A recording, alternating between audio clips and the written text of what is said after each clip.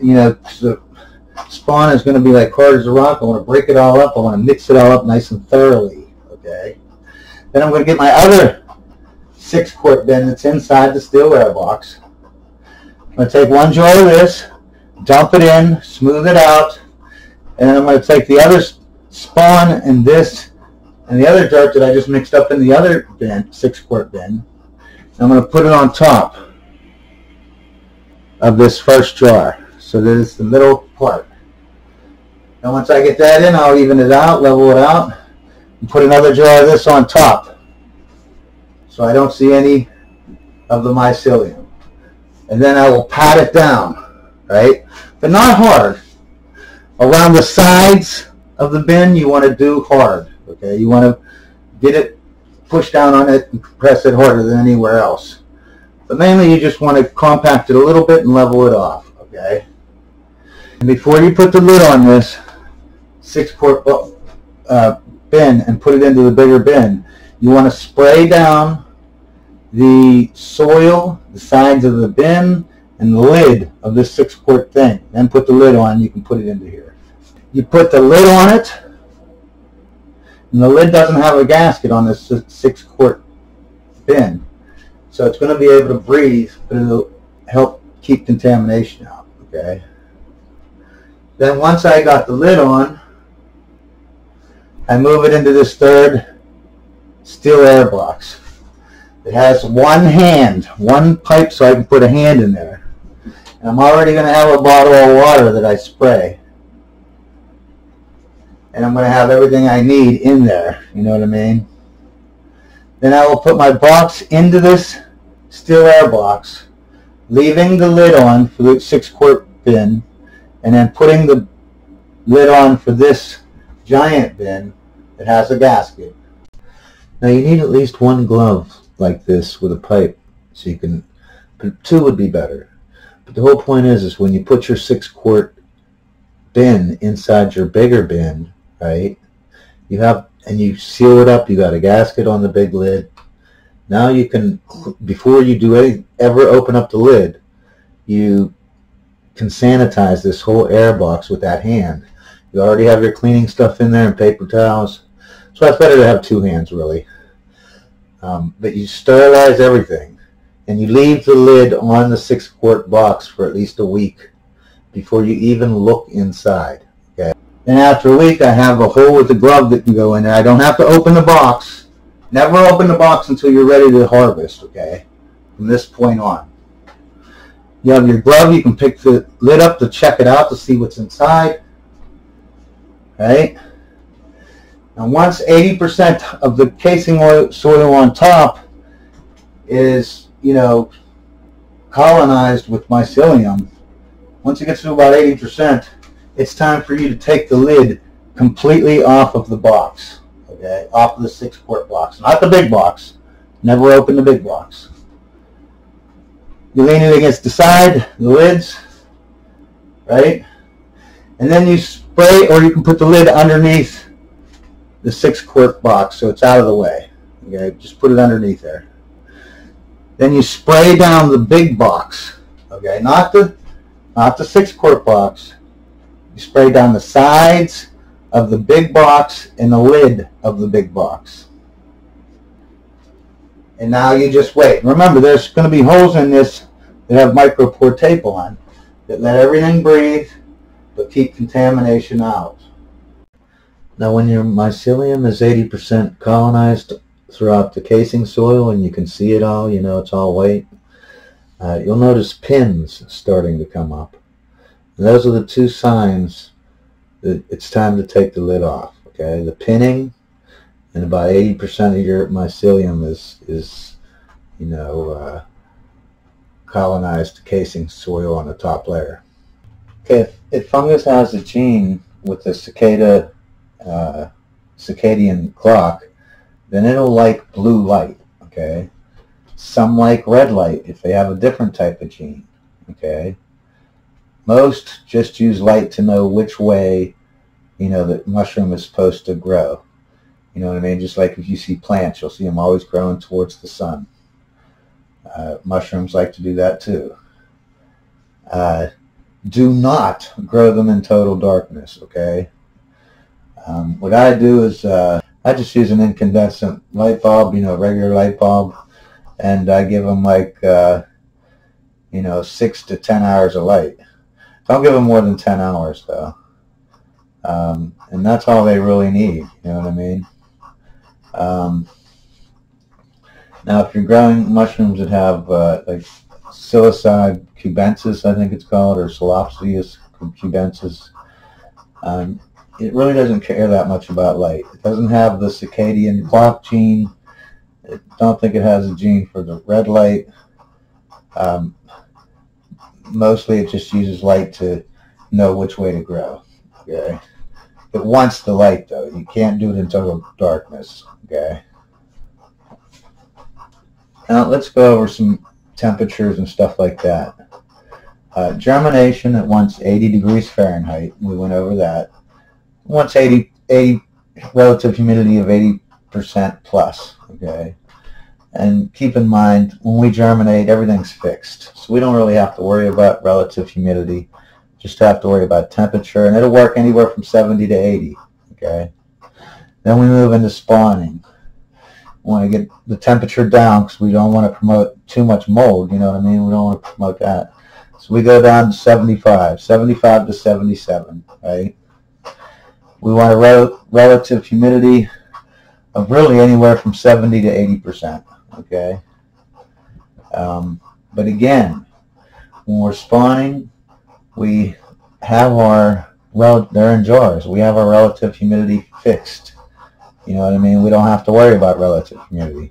We just have to worry about the temperature, and it will work again anywhere between 70 and 80 degrees. But 75 to 77 would be best. Okay? Then we move into fruiting. Now there's a couple parts of fruiting. The first part is colonizing. You know, after you get your dirt in there, you have to wait a couple days for the spawn to recover, and then it has to grow throughout all that uh, nutritious stuff that you put in there, the coco coir, the vermiculite, the whatever. So it has to colonize, and then it has to pin and fruit, right? Okay? So, when it's fruiting, again, you can be anywhere from really 70 to set. I mean, uh, 69. you can be lower than that. I'm just saying 69 to 74 would be best. Um, or to 74. A relative humidity of about 85%. Now during the colonizing, remember, we put the all the spawn and the dirt together, right? We want it to colonize throughout it so it'll start pinning, right? Well, what do we do? We sprayed down the lid, we sprayed down the dirt, and we, the sides we sprayed down and we put the lid on it. And what did that do? That caused, that raised up the relative humidity from what we had of that to 90%, okay? Probably even higher than that. Probably raised it up to like 95%, you know what I mean? 99%. And the reason we want that is because we want pinning, and that's what will help with the pinning. What else causes pinning? Excess CO2. Mushrooms breathe just like human beings. They breathe in oxygen, breathe out CO2, carbon dioxide. So, we left the lid on. The mycelium kept breathing and breathing and breathing, using up the oxygen and spitting out carbon dioxide, and carbon dioxide causes pinning. That's why we leave the lid on for that first week to 10 days, right? We don't check it for at least a week. Now, once it starts pinning, we want it to fruit, right? Okay, it's done colonizing, it's done pinning. We want it to fruit. And we want the relative humidity, we don't want it that high. It's too high, It's 90% for colonization. So what do we do? We take the lid off right? We take the lid off. So I'll tell you the truth, when it comes to relative humidity, I am guessing at some of this stuff. Um, you do want a high humidity though. It's you have a good range that you can be in and still be good at it. You know what I mean? Uh, but if you did what I said, where you opened up the lid, you had already sprayed down. When you put your spawn in into the six quart container, you sprayed everything down. That's excess water there. And when you moved it into your still air box, you waited for you know for it to start pinning and be all colonized, right? But once it was, you opened up the lid for the six quart container, keeping the still air box closed, and you misted the big still air box on the sides and the lid. So you have plenty, plenty of water there. You do not need to mist again. Okay, you should never have to mist again. That's you should be done with that. Mean, keep in mind every area is different. You could be doing this in the desert, so it's all dry and stuff. You know, and you might have to mist. I don't know. You know what I'm saying? But I've never really, you know, got a, you know, a device, whatever you call the device that measures relative humidity, and put it in these boxes or anything. I just use you just use some common sense on it. You know what I mean? And you'll know what to do. Uh, but if you have condensation on the sides of the still airbox, you definitely have enough uh, relative humidity. That's for sure. Now I shouldn't say you never have to spray it, but you're going to have your spray bottle inside your still airbox with your six quart uh, shoe bins, you know what I mean, that you're fruiting out of. Uh, so if you do need to mist you, and you have your glove there, you can just stick your hand in the glove that goes into this two air box and spray. Uh, if it's in the wintertime, maybe it's, you know, it'll be drier and you might have, you might have to mist it then. Um, or like I said, a dry climate. Um, so I hate to say never, but, you know, it should be enough. Uh, like I said, I don't really know the percentages. I'm guessing a lot there. I just know from looking at it, like, you know, if it's too dry, if it's too uh, wet, I'll, I'll just know by looking. Uh, you want little beads of look. It looks like water on top of the, you know, the mycelium mat that grew over top of the casing soil. That's like, and it's not even water, most of it. It's like enzymes or something that the mycelium excrete uh, right before they start growing mushroom mushrooms and they're pinning. Now you will have to fan these, uh, you know, at least once a day, roll, you know, for a couple minutes, uh, and it helps get the air exchange. But more than that, it helps evaporate the water. You want evaporation. This is my last part here, and it's, you know, it'll work. Like when I used to do it, I didn't, I, you know, I just did it. That's it. I didn't uh, you know, when I was germinating, I might have put it on top of the oven uh, because I have a gas oven. So the pilot light is always on, so it's always a little hotter above my stove, even though it's not on. And I germinate there to get 80 degrees.